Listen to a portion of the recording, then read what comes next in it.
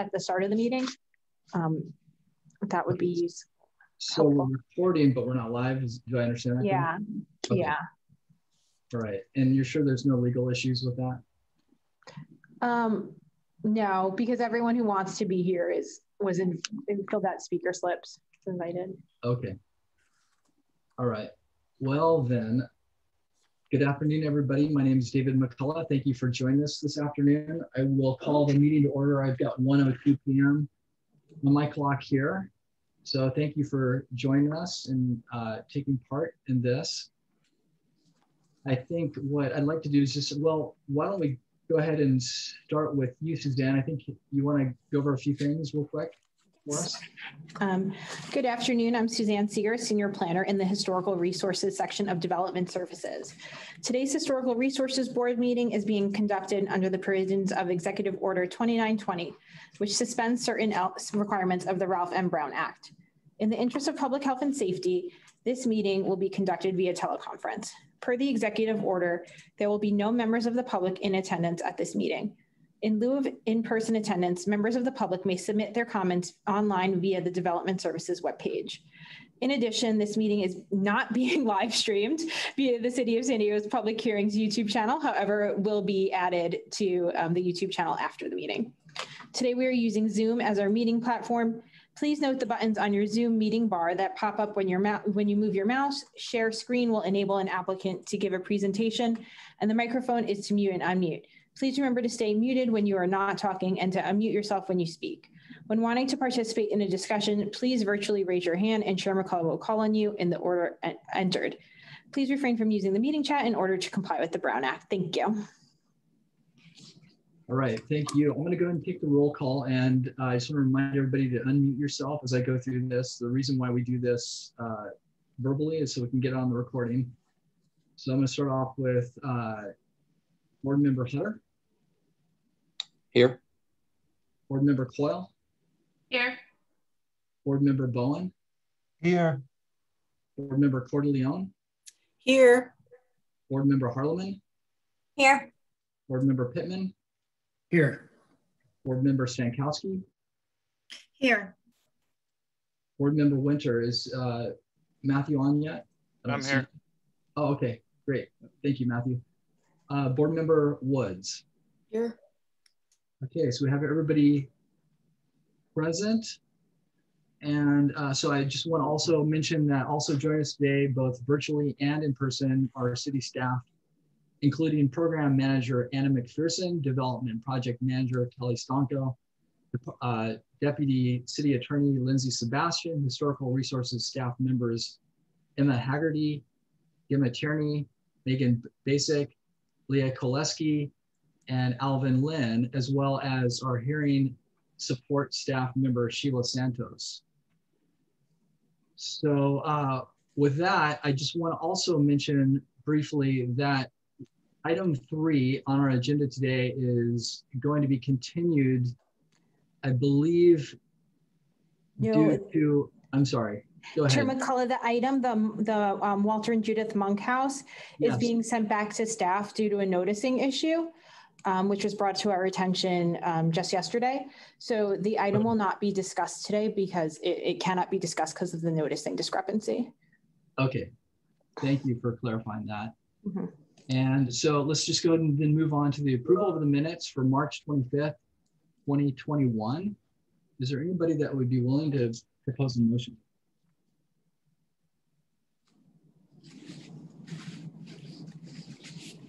Mr. Chair? Okay. Yes, Ms. Quell. Uh, yeah, I would propose um, to move the minutes with one uh, correction, which is the typo on page six for motion one. It should read Mission Hills not Missions Hills. Otherwise, okay. that minor correction, I would move the minutes. Okay, thank you. That's been very thorough. So we appreciate that. Any, uh, a second?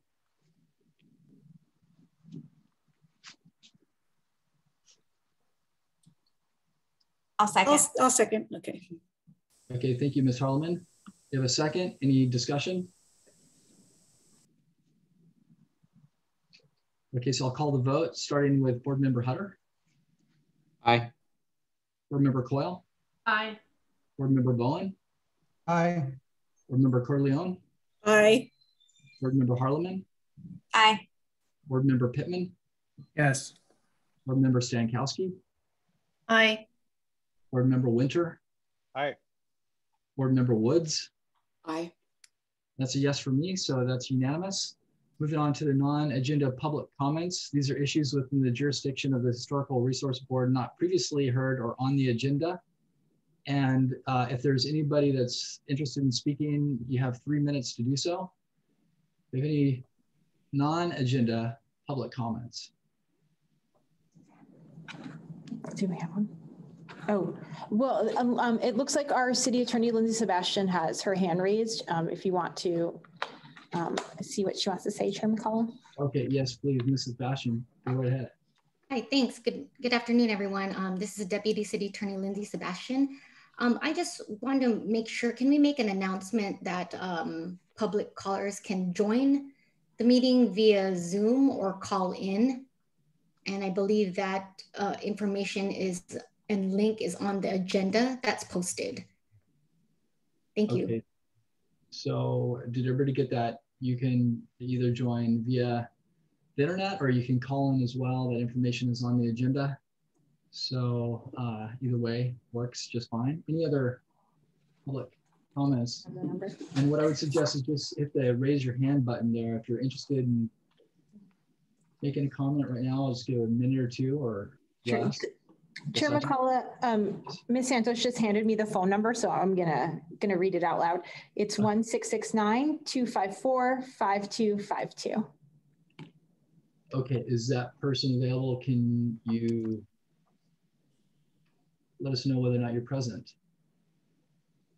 And by the way, Oh, no, Chair McCullough, that's um, to call in if you're an interested member of the public. okay, Yeah.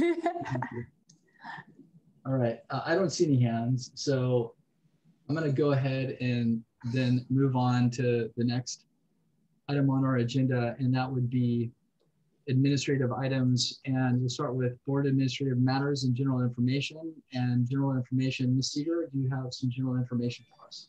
Um, Yes, um, prior to today's meeting, the board members have been emailed correspondence for item the three, the Monk um, House, Walter and Judith Monk House, revised resolution for item seven, the Weston and Frida Hicks Spec House, the revised staff report and resolution for item four, the Paul and Nellie McCoy Speculation House number three, um, the request for a continuance for item three, the, the Monk House, and the HRB criteria guidelines and the motions and findings form for historical designation. Okay, thank you. And are there any general board member comments at this moment? Ms. Stankowski, you, something you wanted to, Um, I remember seeing something in the email that the Vulcan bathhouse was also going to be continued. Yes, um, we're gonna get to that in a, in a couple of minutes. Okay. Thank you, though. Um, I do have a question with all of your um, historical minds present.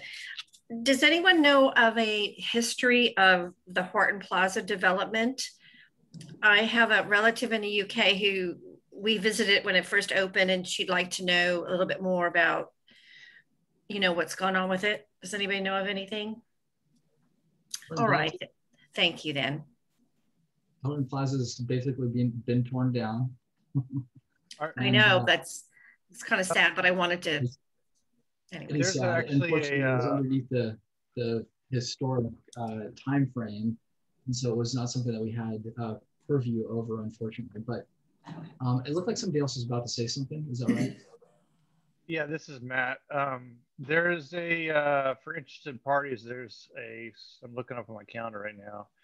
There is a, something next week, next Thursday. Uh, I think it's the Architecture, San Diego Architecture Foundation is going to present what the new plan is. Or the developer is going to, if, if you're interested in finding out where they're going with the thing.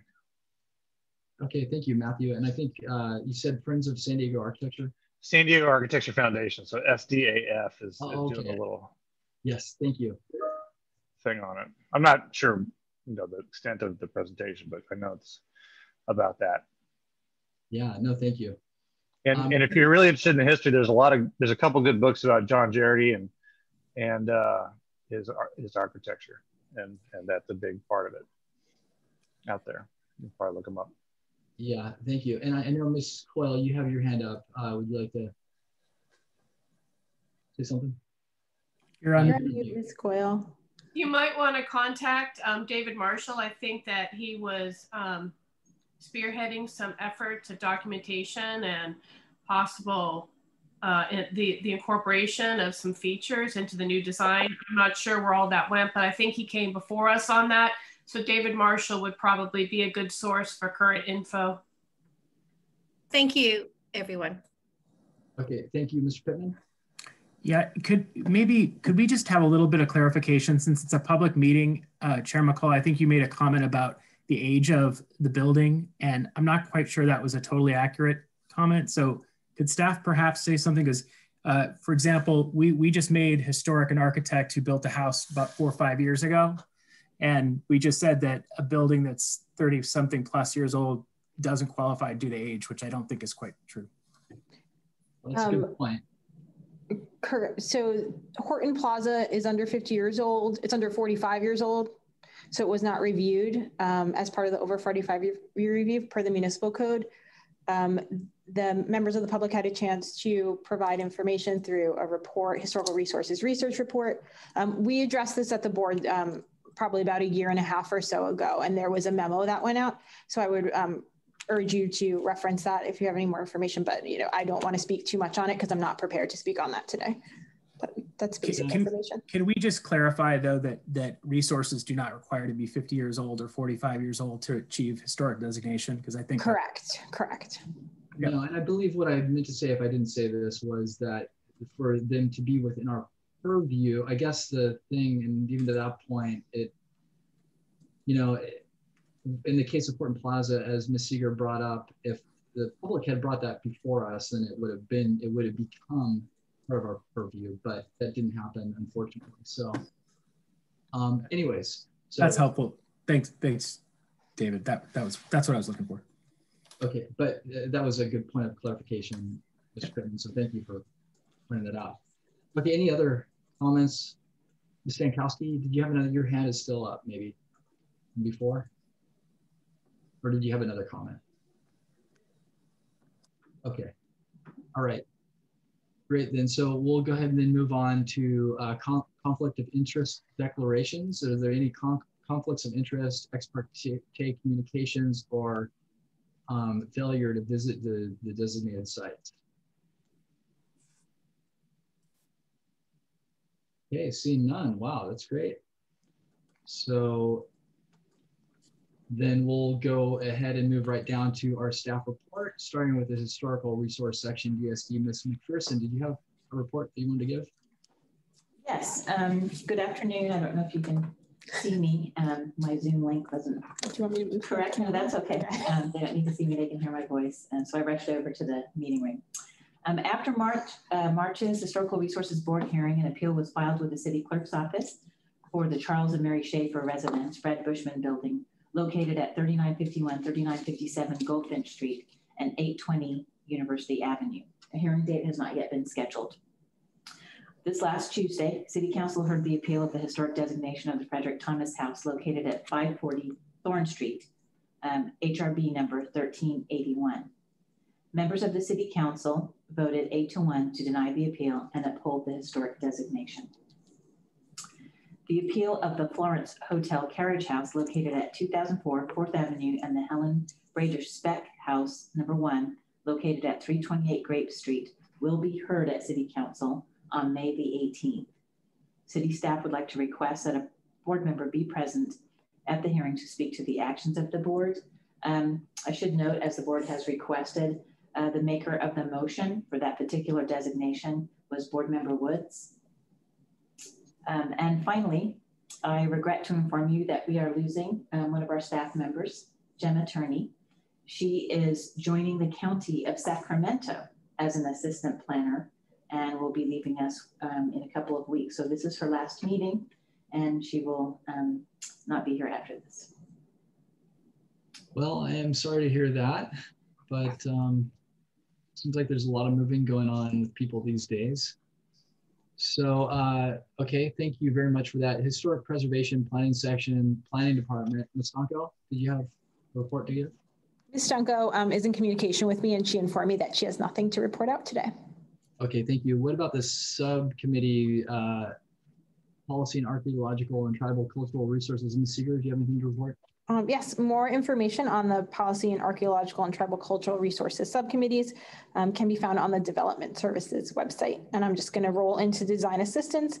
Um, there was no meeting um, for the month of April. However, the re- next regularly scheduled meeting will be held on May 5th, 2021 at 4 p.m. Okay, thank you. And request for continuances or withdrawals? Um, as previously stated, um, item three, the, the Monk House, Walter and Judith, Judith Monk House will be sent back to staff due to a noticing issue. Um, and there's no vote on that today. Um, just reminding you guys, um, that's what happened with, with that item. Um, and then staff is requesting a 30 day continuance for item eight, the Vulcan Steam Room and Sauna.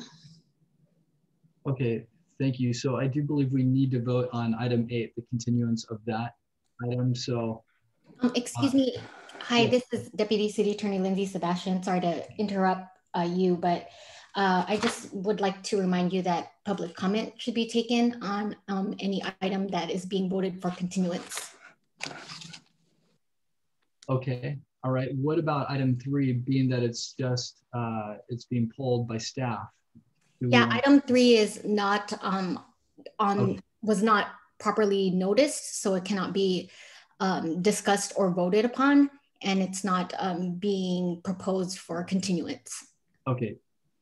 Thank you, Ms. Sebastian. So then let's, uh, let's open up if there are any public comments on item eight, it's the Vulcan, Vulcan Steam Room and Sauna. Uh, is there anybody that would like to speak at this time? Please, as I mentioned, just hit the button at the bottom to speak. And I'm gonna give it a minute here. Um, Chair McCullough, just for the record, we didn't receive any new um, public testimony on this um, item prior to the meeting. Okay. All right, great. I'm not seeing hands go up. So are, is there, let's go ahead and um, close public testimony. And then is there anybody on the board that would like to make a motion for either continuance or denial of continuance for item eight? Can I ask a question, which was that during our last meeting, we were having a discussion about continuing to a date certain and ultimately decided on this being the date certain um, at the request, I think, of the um, property owner. So is, I know we don't have any public comment, but I think Scott Moomjian is on the call. And I, I at least would be curious to know if we're if the property owner has an issue with the continuance. Uh, okay, yeah, you're saying for item eight, they're asking for a 30 day continuance. Well, st- staff is uh, asking for, as, it, as I understand it. Board Yes. Member Hutter, this is Anna McPherson, if I could speak to that. Sure. Um, The, um, it was indicated that there would be new information presented, and the board did have some discussion about um, the timing and the ability of staff to be able to respond to that. So the, we did receive information. Um, we have not had time to respond it, and we need uh, qualified city staff to review the report that's been presented. And that we were unable to get that completed and be able to provide um, a, a report or a memo to the board prior to this meeting. So that is why staff is requesting the continuance, so that we have that information vetted and um, can provide you, you know, the most full staff response. Okay, yeah. Understood. Thank you. And I, I think that, you know, given that it is important to have our staff review things before they come before us, I would support the 30 day continuance. So I'll make a motion for that. Is there anybody that's willing to second that? Yeah, Dr. Woods. Do you have a question, Dr. Woods? question. Um, because it's staff requesting this, isn't there this issue of a 90 day limit that we risk losing the possibility and oh um yeah isn't Dr. Woods, if I can interrupt, uh, there, can I just ask for a second? Is anybody willing to second my motion? If not, then we'll, but what I'd like to do is keep this in order. We can come to questions here and comments in a second. Anybody willing to second the motion? I'll second it for discussion purposes. Okay, thank you. So staff No. can speak to the question um, Yes, please. that board member Woods has raised. Um, yes, I, I, there is 90 days um, where if, if we do not act on, if the board does not act on this within 90 days um, of it being, a re the report originally being presented to the board, um, then we would lose, the board would lose jurisdiction. The um, item being continued um, to next month, that will be the 90 days. So the that is why staff is continuing it for the 30 days. It's still within the time frame that the board can still act on the property. Dr. Woods, does that answer your question? Well, okay. Any further discussion? Can can I ask again if it's okay if we hear from the apple or the the owner? Uh, yes, if you have a question, then absolutely. Uh, Mr. Moomjian, would you like to respond or is uh, prepared to respond on behalf of that question? Yes, Mr. Chair, I'd be happy to respond to uh, Board Member Hutter's question. I, I had not intended to um, address the board on this item, but as far as the property owner is concerned, if staff um, is so inclined to request a continuance of the board, um, we would express no opinion on that. And um, that would certainly be up to up to the board to uh, to grant or to deny the continuance but we certainly uh, wouldn't uh, oppose it here today. We take we take no opinion on the continuance. Okay, thank you, Mr. Moomjian. You're welcome. Mr. Pittman, did you have a, a comment? Was that me? Yeah, I just saw you come off of mute, so I thought maybe you had a comment. No, no. Tim, Tim actually asked. I was going to ask if he didn't, so that was it. Okay. All right. Any further discussion? Okay, seeing none, I'm going to call for the vote here, starting with Board Member Hutter. Aye. Board Member Coyle. Aye. Board Member Bowen. Aye. Board Member Corleone. Aye. Board Member Harleman. Aye. Board Member Pittman. Aye. Board Member Stankowski. Aye. Board Member Winter. Aye. Board Member Woods. Aye. And that's a yes for me, so that's unanimous. We'll move that item to the next board hearing. So uh, thank you for that. Let's go ahead and then move on to the next item, which is the request for items to be placed on consent agenda. And uh, we have quite a few items here on the consent agenda. We have item one, two, three, four, five, six, and seven. Can that be right? I guess it would be. Uh, so I guess we can take three off of that. And so let me just clarify items one, two, four, five, six, and seven. So the item one is standardized report of the city boards and commissions, uh, board and commission 2020. Item two is a certified local government annual report 2019-2020. Item four is the Paul and and Nellie McCoy Speculation House, number three, located at 3406 Olive Street. Item five is the Webb Van Horn Rose uh, Charles Sawyer House located at 736 Fern Glen. Item six is the Guild Company Richard Wheeler Spec House, number one, located at 3551 Garrison Street. And item seven is the Weston and Frida Hicks spec house located at 3576 Granada Avenue. Chair McCullough, for the record, I just want to state that there was no public um, public comment um, submitted prior to the meeting for any of these the items um, proposed for consent. Okay, so is there anybody who would like to make a motion or is there any discussion we'd like to have on any of these items? Excuse me, Chair McCullough, this is Lin Deputy City Attorney Lindsay Sebastian. Um, before the board discusses the consent agenda and votes on the consent agenda, can we ask if anyone present during the meeting here um, in the public wants, to, whether if anyone wants to speak on the item, on any items to be placed on the consent agenda? Okay, absolutely. Is there anybody from the public that would like to comment? It looks like Dr. Woods, you have well, before we before we take your, your comment, Dr. Woods, I'm sorry, but let me just wait for the public uh, to see if Is anybody from the public that would like to speak? And I don't believe we have any speaker slips, right, for any of these? No.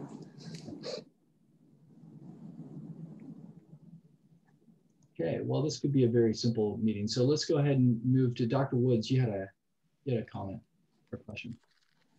I can do it really quickly, but I would like to pull uh, item one, the standardized report. Okay. All right, sounds good. Any further discussion? Yeah, uh, Board Member Coyle. All right. I would like to pull item number two. Okay. Item one and two are pulled. Any others? I have a question about um, item four. I just don't know about the garage being included or not in the designation. Um, I don't oppose it. I just, the report said not to include the garage, so I don't know where the staff uh, stands on that. Hi, Andy. I could speak to that. Um, staff was recommending to include the garage in the designation as it was original to the date of construction of the original building. Thank you for that. Okay, any others or? Chair McCullough, this is Tim Hutter. I'd like to pull item six. Um, and then I also, on item seven, I just want to make what I think is going to be a clarification in the resolution and also in the report. It ref- reflects uh, an exclusion, I think, relating to the, the detached garage, but it is written as detected garage. And I think we just want to clean that up. There is a garage there. It has been detected, but I think it's, that's the point Yeah. of what I, I apologize for that, uh, Tim Hutter. Yes, it is meant to be detached, not All detected. good, and I apologize for not seeing it before 10 minutes ago. Brought it to your attention. Well, you caught it. That's all that matters. Okay, so we're, we've now pulled one, two, and six. Any others? And or is there somebody that's willing to make a motion on placing, let's see, that would leave us with four, five, and seven on the consent agenda. Chair McCullough, um, just, we're going, the, the vote, because this is still a new process for all of us, is going to be on, um, you know, the approval of the entire agenda. So I would also recommend, you know, just determining the order in which you want to take the items that are pulled and whether they're going to go before. Oh, wait, do we not have any, we don't have any more discussion items. So uh, also when you're voting, you're going to be voting on the order of the items, just to, to make sure everyone is aware Okay, of I would just ask that, I mean, I think that's, if somebody's willing to make a motion, that uh, the motion include the order. Yeah. Chair McCullough, I'll, I'll move. I, I think it was all items uh, except one, two, and seven. And then I would move that we do this in numerical order if that's simple enough. I believe it was item six, right? I'm sorry. Yes, Mr. Hutter? correct. Okay. Yes. Yeah, Yes. we're gonna hear one, two, and six, correct? Yes. Okay, so, um, so thank you for that. So the things left, the items left on consent would be four and five and seven. Yes. Okay, and so that was a motion, right? Cor- Okay, Yes. thank you. Thank Yeah. you. Okay, and uh, is there a second on that? I'll second. Okay, was that Mr. Bowen, the second? of? Um, Mr. Winter. Oh, Mr. Winter. Okay, thank you, Mr. Winter. Okay, any further discussion? Okay.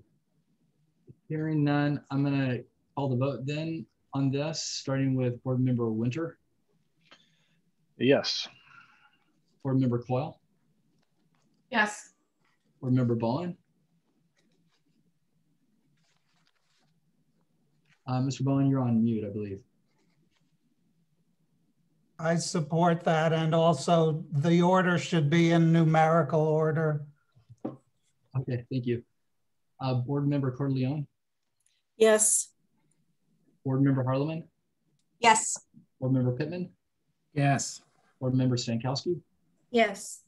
Board Member Winter, Yes, again. Board Member Woods. Yes. Okay, that's a yes for me. That's unanimous. I believe we missed Mr. Hutter's vote. Oh, how did we do that? Mr. Hutter? but Matt got to vote twice. Matt, yeah, Matt put it twice. It's all right. Uh, I, right? I'm also in favor, so no change to the notes. All right. So that that is it's still yeah. All right. So uh, perfect. Then, are there anybody from the public that uh, has an item on consent? So that would be four, five, and seven that would like to speak on behalf of their item right now. For their house. Yes, uh, Mr. Quick. Uh, hi, uh, we just want to say thank you to the board and the staff um, for all the work you guys do. We are the owners of the uh, item number five, the 736 Fern Glen, and we uh, look forward to taking care of this uh, historic resource. So thank you uh, all for your service. Thank you. Okay, any others? Uh, it looks like Miss Delio, is she, I see her hand up right now. Stelio, are you on the call? Yes, we are here. Hi, uh, this is Susan Delio and Jeff Goldberg. We are the owners of 3406 Olive Street. And we just wanted to say thank you as well to the board um, for consideration of our house. We love it. And we're very excited to keep it in its current and awesome historical state. So thank you. Fantastic, thank you. Okay, uh, Mr. Brian? Remember to unmute yourself.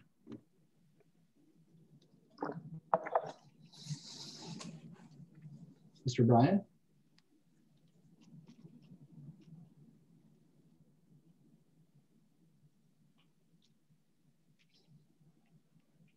I'm sorry for that uh, mute button failure there. It's uh, Brandon Bryan here, the owner of uh, 3576 uh, Granada. And I too would like to thank uh, the, the, the, board and the staff members for all of your work and uh, guidance through this process. Thank you very much.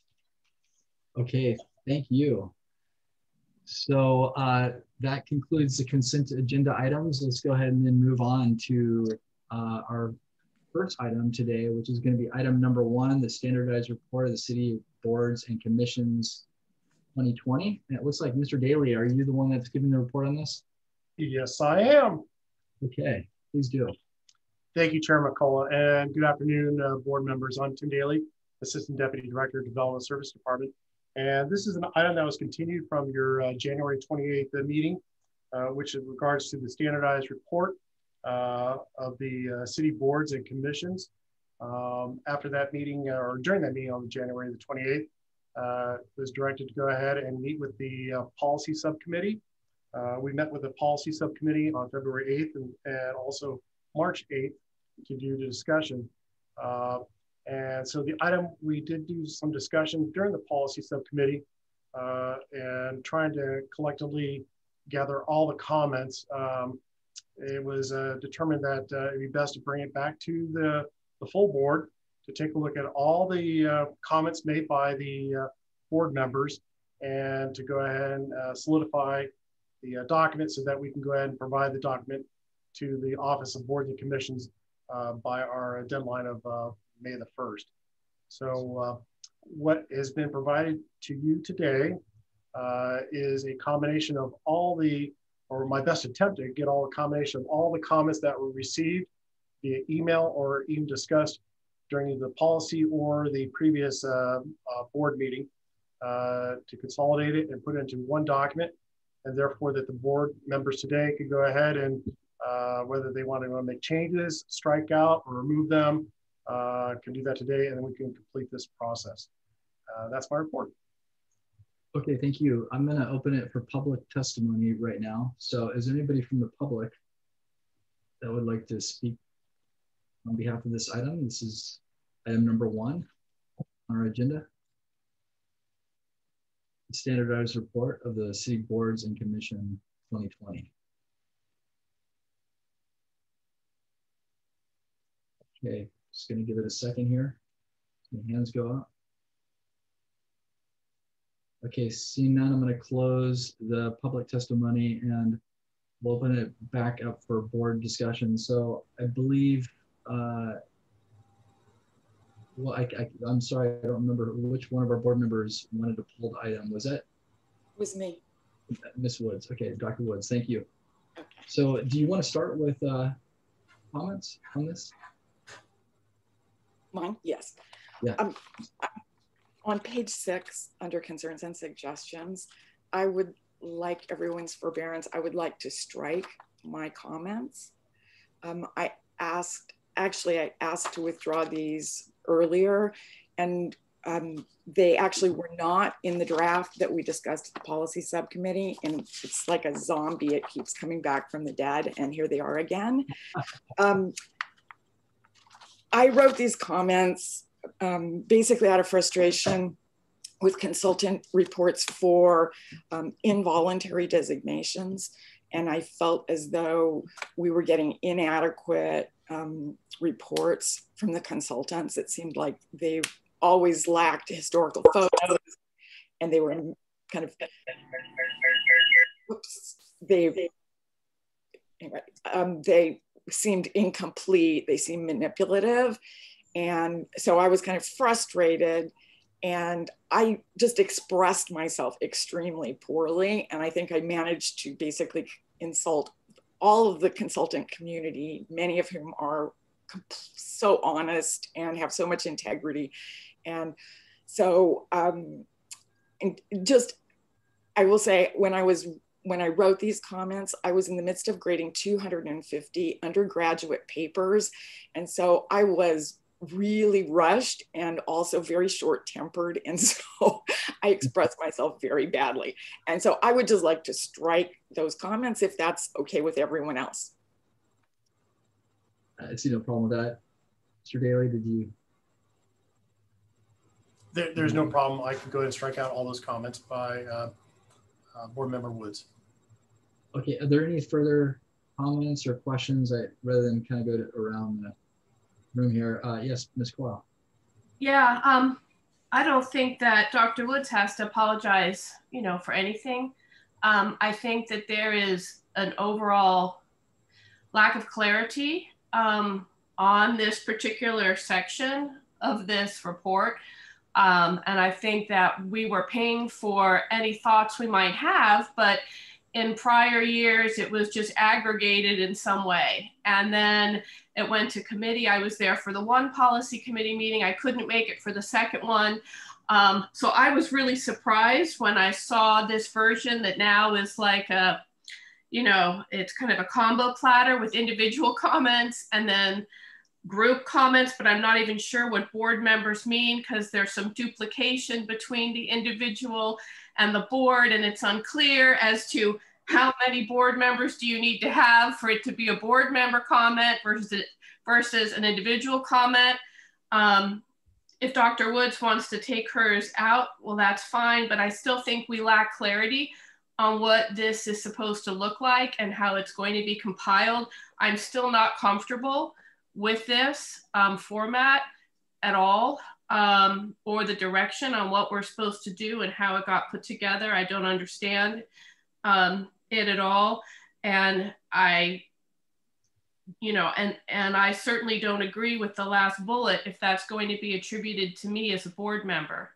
So I'm not quite sure how to go about doing this. When I asked for it to go back to policy, I thought that this would all be ironed out in policy and we wouldn't have to be taking our time at the board level on this, but here we are.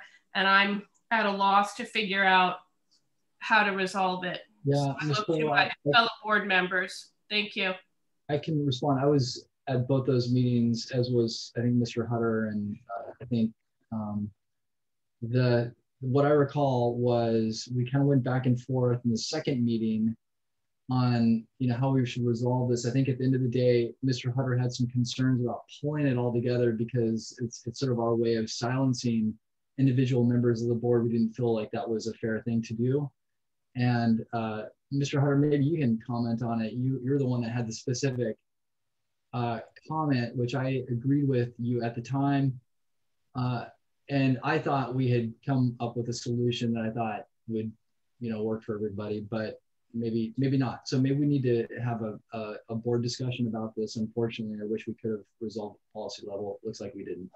Yeah, I I, um, I actually agree with Dr. Woods and and Ms. Coyle um, and you, David. I, I I'm not sure that, and maybe it was confusing because it was a long discussion, but I'm not sure that what we discussed or even you know thought we resolved at the policy committee meeting is what is presented here. Um, and I think that you know it, it's partially, as as Mr. Daly said, an effort to kind of find places where there were there might have been agreement or we thought that certain sentiments were shared by a, a set of board members. Um, when you know now we have names attached to each of these comments, um, and I think that there is you know some overlap obviously between the comments. I think there's concerns about the status of our board um, and about the status of our staff and trying to make sure that we fill the board in the right way and we have have enough resources to conduct our business. Um, I, I realize that you know there are other comments on here that I think that um, not everyone stands behind the individual comments and and the folk areas of focus. So um, I think that it, it was a tough job that we gave to Mr. Daly. So I don't blame you, but I also don't think that it quite got to where we thought it might.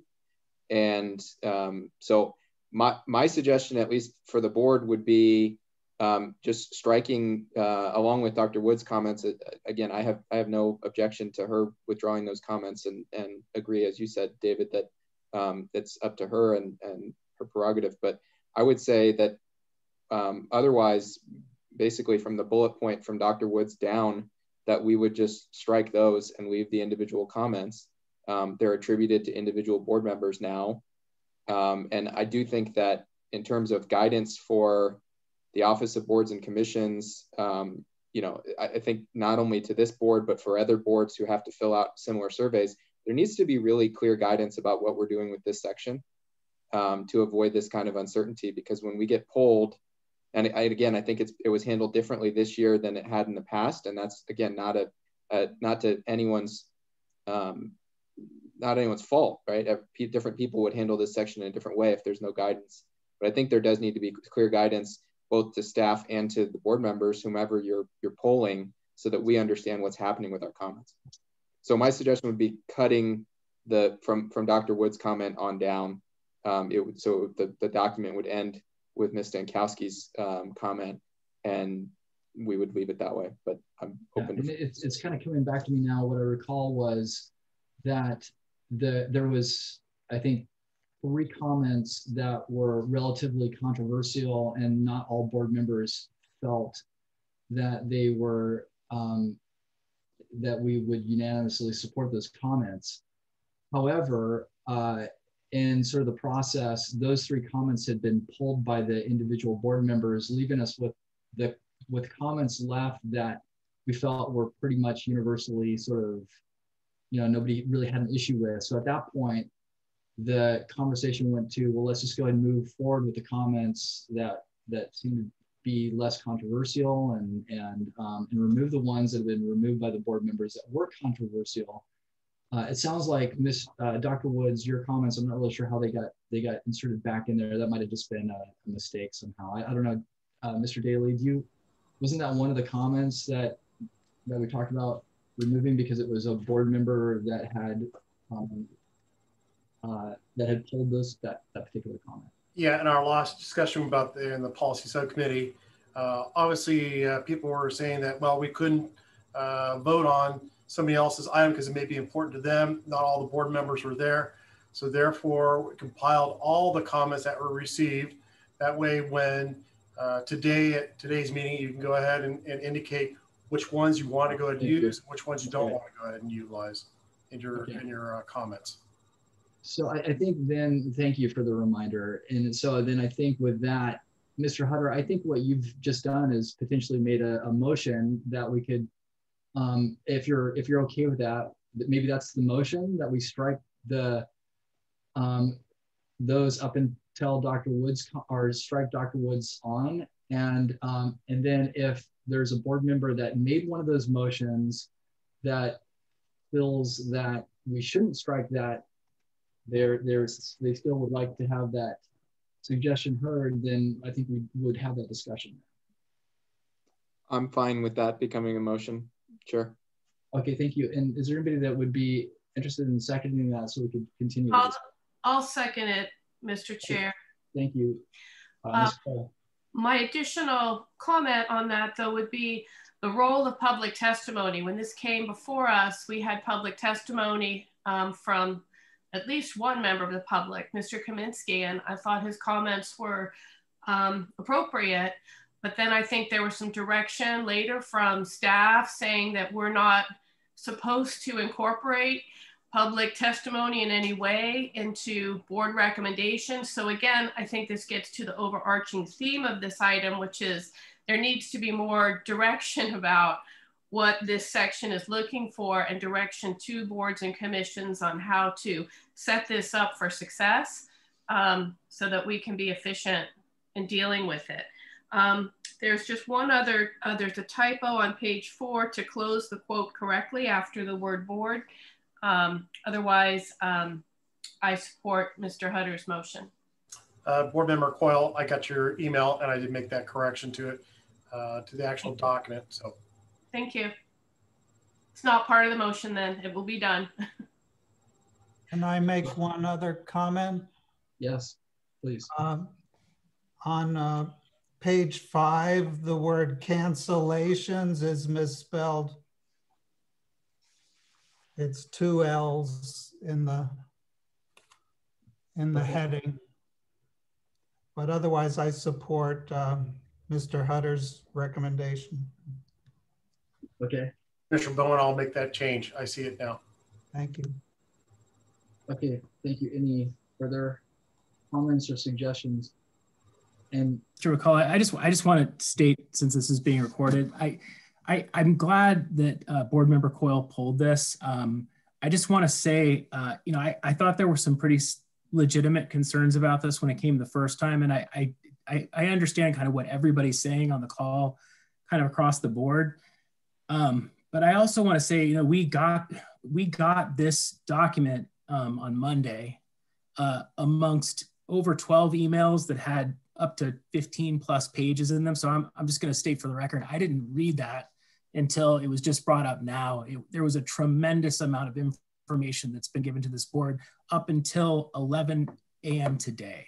So I, you know, I, my, my, I'm actually, I, th I think I'm going to vote opposed on this just because I haven't read it. Um, and I, I also have some concerns, just something is being put forward as a motion of this group as a whole. And I, I, appreciate that we're kind of parsing out individual board members and I'm not um, everybody, you know, I think those are all valid suggestions. I just don't know that I'm super comfortable with how this is being packaged. It's more of a procedural thing. So, uh, Mr. Taylor, I'm not trying to make your job harder, but I, I just, uh, it this just doesn't feel quite right to me. Okay, all right. Uh, any any other comments? Yes, Ms. Coyle. Yeah, and I, I, have one final request, if I could, would be to consolidate my three into one. It seemed that the other other individuals had multiple in one, and mine was pulled out into three. Maybe that's the way that I organized it when I sent it to staff. Um, but if we're looking for conformity, just group my three together if you can. Thank you. Not a problem. Okay. Any further discussion? Is there any chance of seeing the photos that are indicated for inclusion? Or, oh, I'm sorry, that's a, oh yeah, page eight, I think. It mentions photos or are you suggesting they share the photos on the screen here right now? I, I don't know if that's possible, if but possible. I, I was wondering the same thing, Mr. Bowen. Yep. So I just if I re- if I recall in the past, they were literally photos of us sitting in the uh, Civic San Diego boardroom, um, looking at our screens. So, um, but it, it, may be different this time. Stankowski. I, you know, I believe the uh, the first uh, report on January the 28th had the links to it. If they're not linked, I could go ahead and pull them up if you need to. But they, yes, they were basically of the virtual meetings that have been conducted. Um, and those are the photos of the Zoom meetings themselves and utilizing whether Zoom or Microsoft Teams. Yeah, I couldn't get the link to work, so I, I haven't seen them. I need to make sure I look good. yes, Ms. Stankowski. Well, I firmly stand by my suggestion, but honestly, when we were asked to make suggestions, I expected there to be some kind of response or or that they would be addressed in some way instead of, you know, just a bitch list. And so I was kind of disappointed that there wasn't anything in response.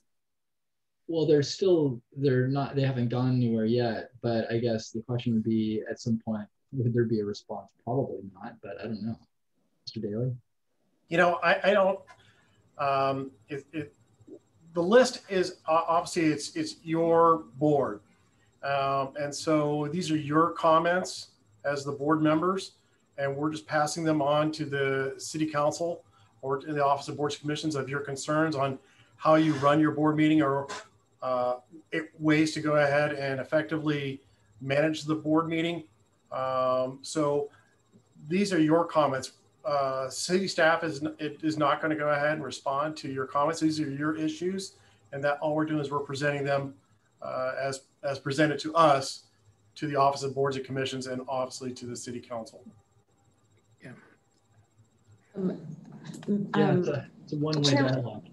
Chair McCullough, Ms. Santos has pulled up those pictures if um, the board members want to view them. Okay. Yeah, several people suggested that, so why don't we, let me pull them up.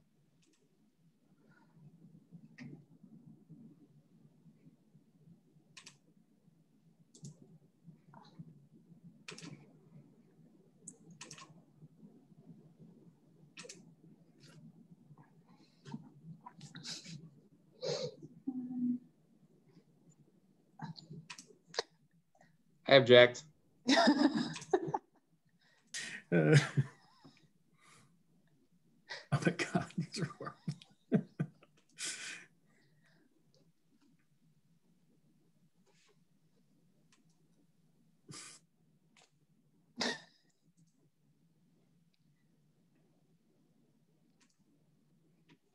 Okay, thank you. Hey, I thought they were great. You guys look beautiful. So any uh, any further discussion on this? We have a, uh, for the for the benefit of the audio record or a stenographer later on in life, uh, I I withdraw my objection. I was kidding. Okay. All right. So I'll go ahead and no further discussion. I'm going to call the vote. Board Member Hutter. Aye. Board Member Coyle. Aye. Board Member Bowen. Aye. Board Member Cordelleone. Aye. Board Member Harleman. Aye. Board Member Pittman. Nay. Board Member Stankowski. Aye. Board Member Winter. Aye. Board Member Woods. Aye. It's yes for me, so that's uh, um, all in favor with the exception of Mr. Pittman. Okay, so I would like to thank all the board members uh, for your patience on this one. Uh, obviously, it's the comments that uh, you provide, and we want to go ahead and make sure that the city council members and the Office of Boards Commissions understands your concerns. Uh, so I, I do appreciate all your patience. Thank you very much. Okay, yeah, thank you, Mr. Daly, for your time. Okay, moving on to item number two. Um, Mr. Chair, it'd be great if next year there could be more dynamic interpretation of what we actually do. I don't know what that looks like, but you know, I that would you know I, I think maybe there there must be another way to capture that besides just those images. So just something else to think about in the next eight to ten months how to how to build a better mousetrap there. Okay. Yeah. Thank you. Good point.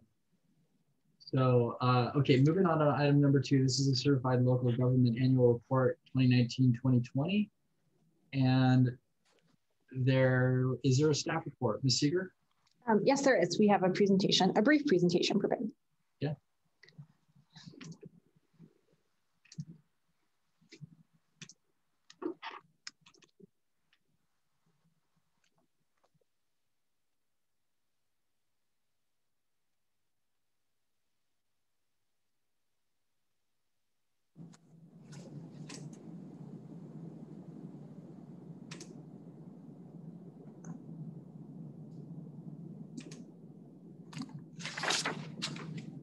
Good afternoon, everyone. This item is being brought before the Historical Resources Board in conjunction with the City Certified Local Government Responsibilities, CLG responsibilities.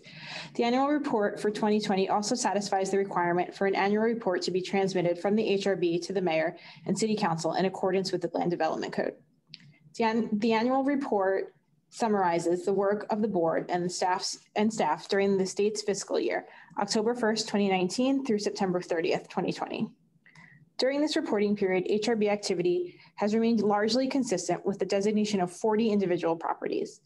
This year saw, saw a record high um, number of Mills Act in Mills Act enrollment with 160 new contracts completed during this period. The physical closure of the Development Services Department due to COVID caused significant challenges to staff. However, the number of project reviews de decreased only slightly, with a total of 3,563 reviews completed during the reporting period, compared to 3,719 in the previous reporting years. The most critical preservation planning issue facing the city continues to be the renewed development pressure on historic and potentially historic resources. Staff continues to see an increase in applications impacting potentially historic and designated resources. The most successful incentive program continues to be the Mills Act. Our single greatest accomplishment during the reporting period was the successful processing of a record high number of Mills Act contracts. Um, Sheila, can you please flip to the next one? Thank you. Um, these are the goals identified for the 2019 to 2020 reporting period. Um, and this concludes staff's report. Thank you. Okay, thank you. And so I'm going to open it for public discussion. If there's anybody in the public on the call or online right now, please raise your hand and give you three minutes. Wait a second.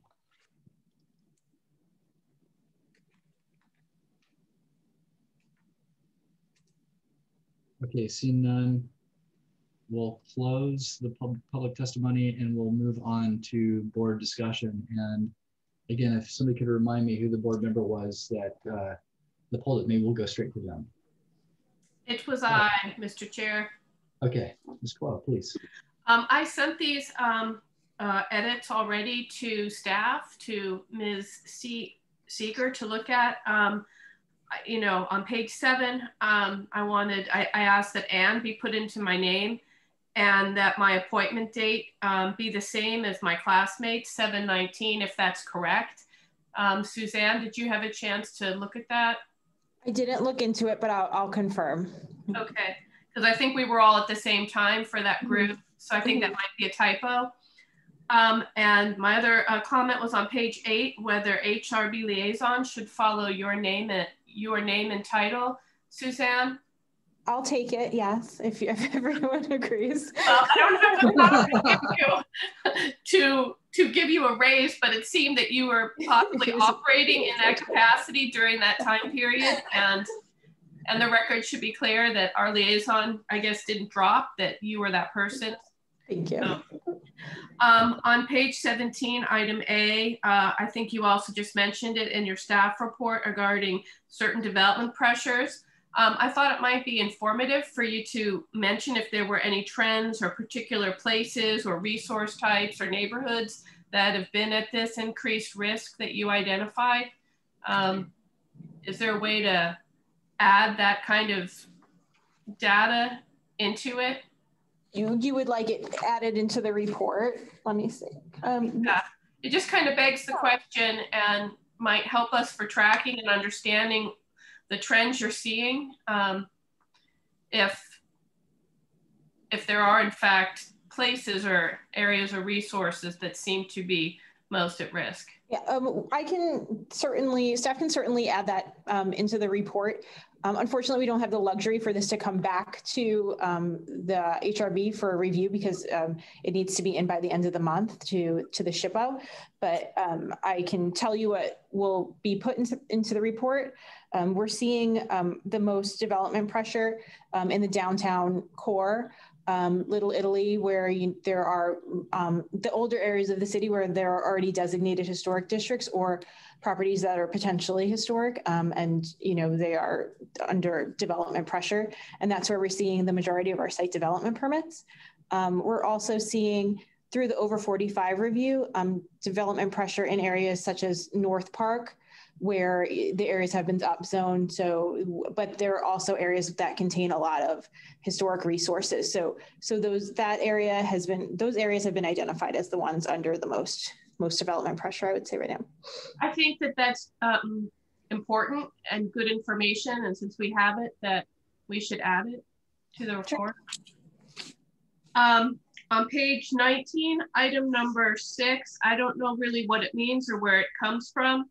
Um, it says work with developers and property owners to increase the number of housing units on potentially historic and individually designated parcels, as well as when as well as within historic districts, while still maintaining consistency with the Secretary of Interior standards. Um, I guess that's the first time I'm kind of hearing it in this report. I'm wondering what it what it means and why it's here. Sure. Um, this was actually in the last report as well. Um, so it was something that we were seeing last year. We, um, California is in a housing crisis. So that is something that we're staff is seeing, you know, the biggest pressure from um, in terms of you know the, direction that we're getting from from our um, management here. So our goal is to work with these property owners in order to increase housing units but still maintain the historical resources um, consistent with the standards. So kind of trying to compromise with property owners and developers in order to to meet both the historic resources the historic preservation goals of the city as well as housing. I i can see where where ed, advising on the standards and consistency is within our purview, but I, but is increasing the number of housing units, is that something that we're charged with or staff is? I'm just confused as to the wording of that. Uh, we could change the wording so it doesn't appear that historical resources staff is working to increase the number of housing units. Right, because when I when I read that, that's kind of what it says, and I was wondering if that's really what we're charged with doing or not. We can change it to maybe something that's along the lines of in response to the housing crisis. So it's not specifically saying increase the number of units. Okay, thank you. And then my last comment was also on 19, it's just a typo, that property should be properties plural. Thank you, Mr. Chair. Those are my comments and questions. Okay, thank you. Any further discussion or comments or questions? Time two. I had one um, on page seven.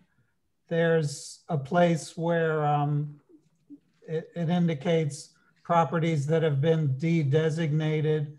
And I don't know, um, there was 340 Fifth Avenue which was mentioned in the page prior as a de-designated, uh, something the city council uh, rescinded a designation. So I wondered why that wasn't on page seven. The reporting period for this CLG report is um, October 1st, 2019 to September 30th, 2020. That designation um, was appealed and granted, the appeal was granted by city council in November of 2020, so it's not within the reporting period. So it'll be in next year's report.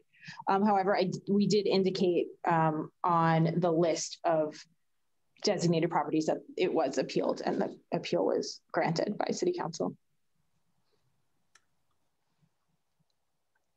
Thank you. Okay. Any further discussion? Anybody interested in making a motion?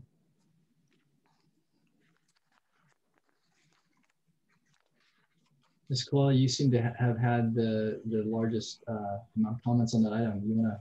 I will go ahead and, and I will move item two as revised.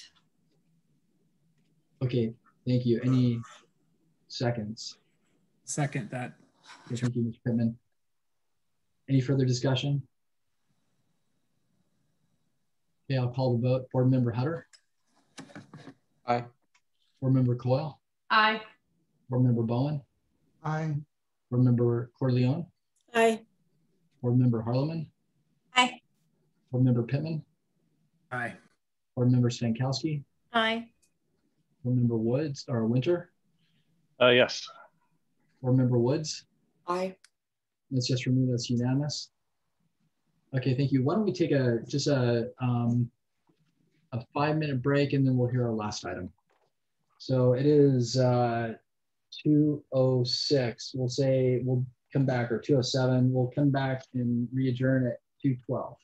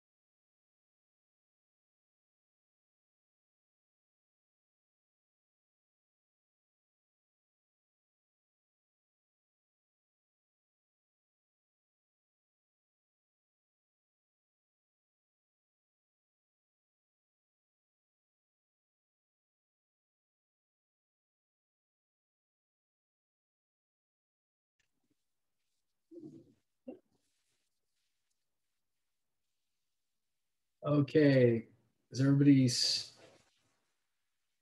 back at their desks? So it's uh, 2000 or 2012. It's uh, 2:12 p.m. I'd like to call the meeting back order. And so see everybody kind of back at their desk here. Move on to our last item.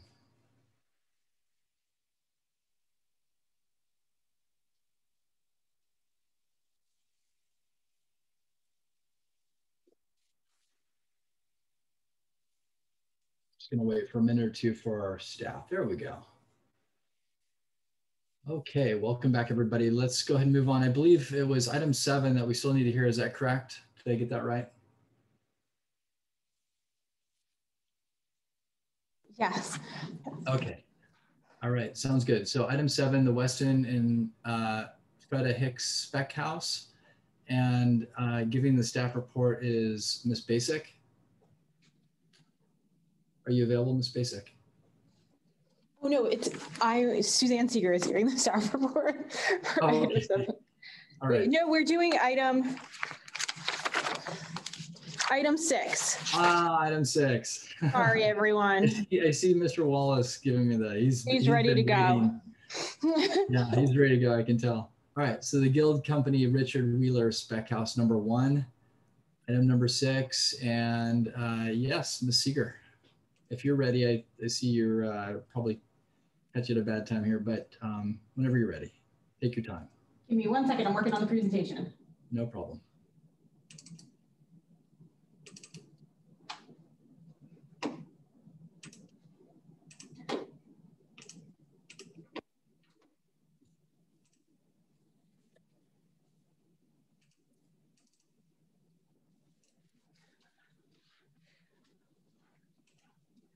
Just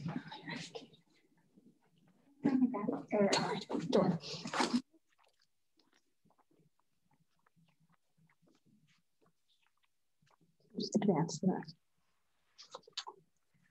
The property located at 3551 Garrison Street is being brought before the Historical Resources Board in conjunction with the owner's desire to have the site designated as a historical resource. Historical Resource Research Report was prepared, which concludes that the resource is significant under HRB criteria C and D and staff concurs.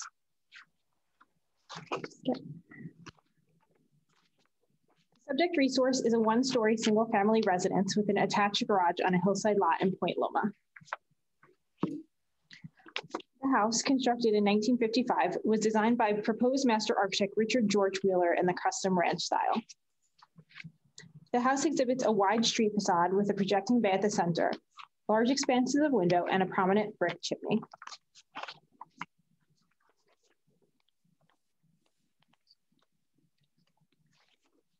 Exterior cladding includes stucco and vertical siding, and the resource features a low pitched roof with a wide eave overhang. Fenestration includes fixed and sliding wood and steel windows, as well as large sliding glass doors. Several modifications have been made to the property since its 1955 date of construction. Additions were constructed in 1957 and 1976. In 2005, the wood roof was replaced with composite shingle.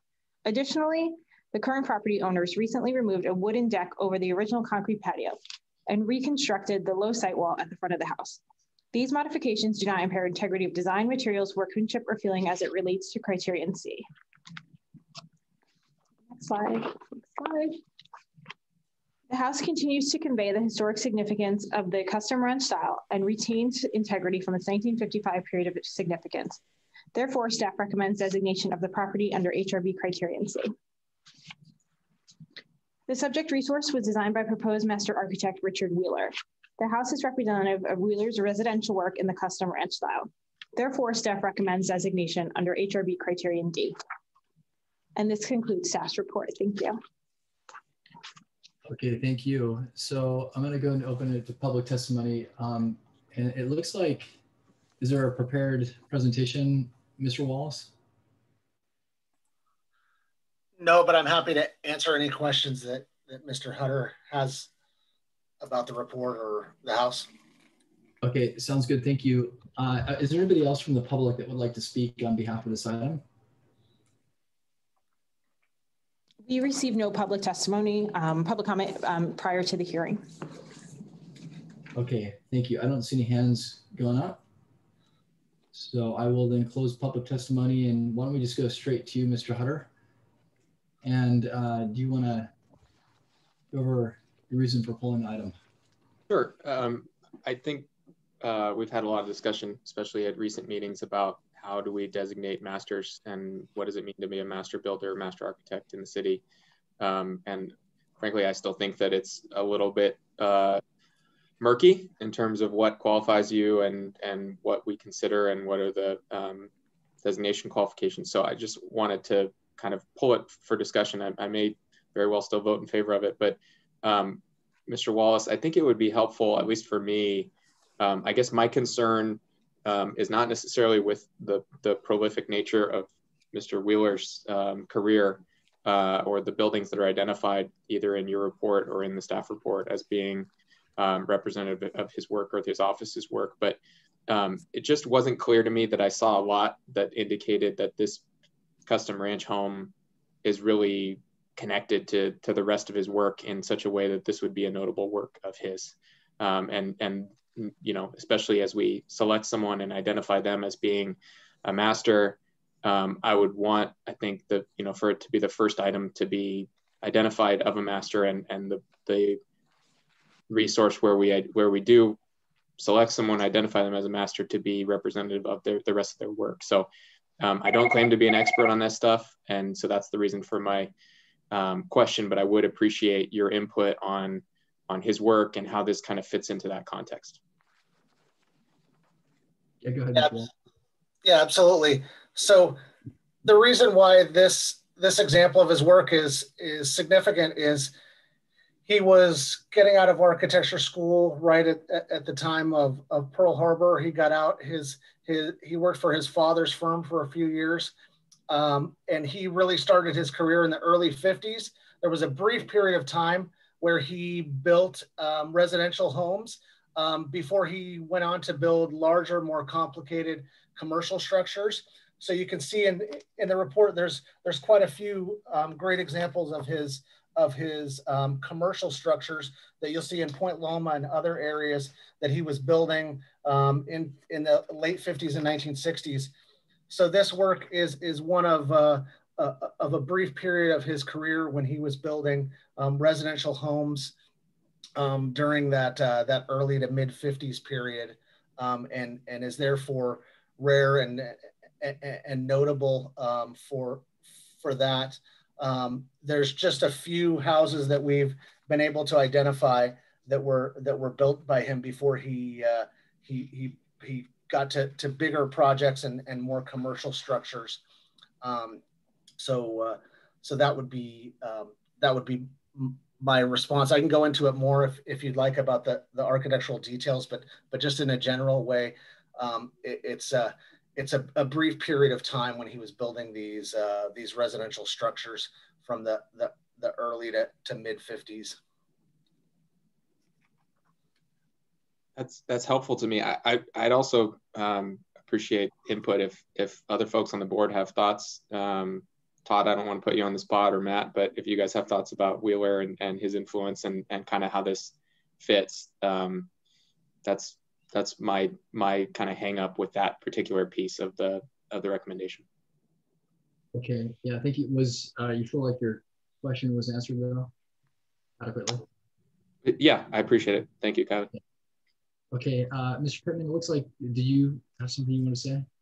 I mean, I, I just want since Tim asked, uh, I, I, mean, I, I think the thing that I, I was actually a little surprised that Wheeler's not already a master. I know he's, um, He's listed in our modernism context statement.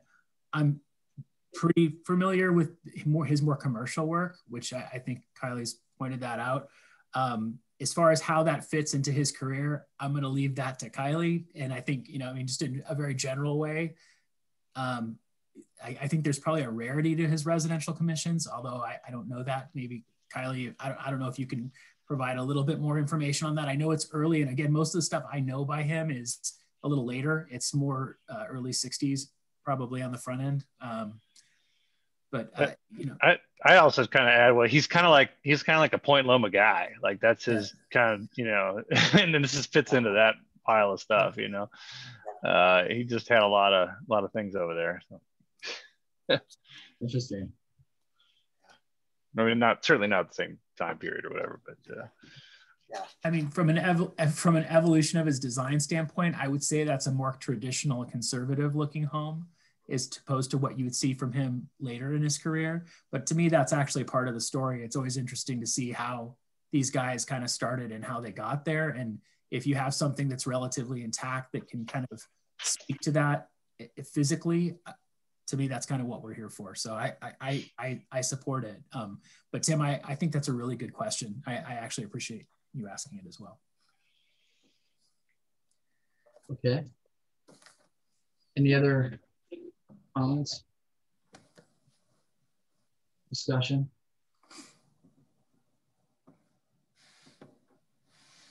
I had a question uh, going back to Board Member Hutter about, uh, I think he mentioned a question about the, the uh, wording of the resolution. And uh, were you thinking that the description of what was excluded was not clear in the resolution? Or I just wonder if you could elaborate on that. No, I, I think what you're referencing was a comment about um, item seven on the agenda which was just a clarification on the wording in that resolution. So it, it was not related to this item.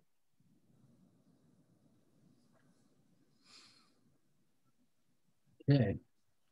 Well, if there are no further, Ms. Coyle, were you about to say something? I was just getting ready to make a motion to move the oh. staff oh. recommendation. Thank you. Yeah. All right. So uh, thank you, Ms. Coyle. Any anybody interested in seconding that? I'll second that. Okay, thank you, Ms. Corleone. Any further discussion? Okay, seeing none. Call the vote. Starting with Board Member Hutter. Aye. Board Member Coyle. Aye. Board Member Bowen. Aye. Board Member Corleone.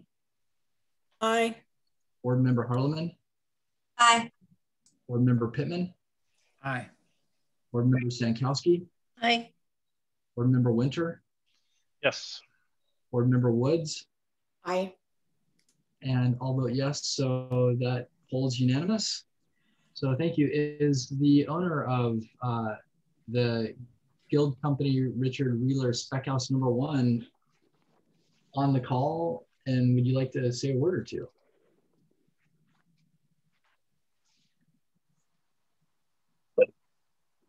Hello? Yes. Oh, sorry, we're not, we've never really Zoomed before. That's okay. so thank you so mm-hmm. much for your consent. We love this house and we'll take care, good care of it. And I hope people enjoy it as they drive up and down Garrison Street. Yeah, thank you very much. Thank you. Hello. And my Thank daughter, and my daughter, who's uh, 16 loved the flowers in front. They were all in bloom up on your slope, and she thought that was fantastic. So, oh, they stop and take pictures. People put their kids and stuff in front of the yards and take pictures. Yeah.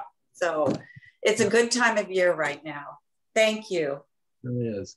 Well, thank you. So, that uh, that concludes our board meeting. Uh, it's uh, let's see what 226 right now. Thank you, everybody. The next board meeting is going to be Thursday, May 27th, 2021. It's going to be another virtual hearing. So again, thank you very much. And I'm going to adjourn our meeting at 226. Thank you and have a great rest of your week. Bye, everyone. Thank you. Thank you very much.